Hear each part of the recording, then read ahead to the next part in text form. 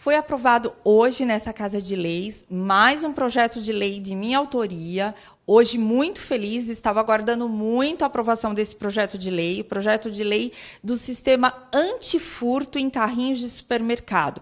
Nós sabemos que várias regiões da nossa cidade estão sendo afetadas com o problema dos moradores de rua, usuários de droga, que automaticamente furtam vários objetos e utilizam esses carrinhos para carregá-los e até para levá-los para a venda. Então, eu estou muito feliz com essa aprovação, porque através disso e através dessa consciência conscientização dos supermercados, nós sabemos que vai ajudar muito a diminuir os crimes de roubo, de furto em vários bairros na nossa cidade.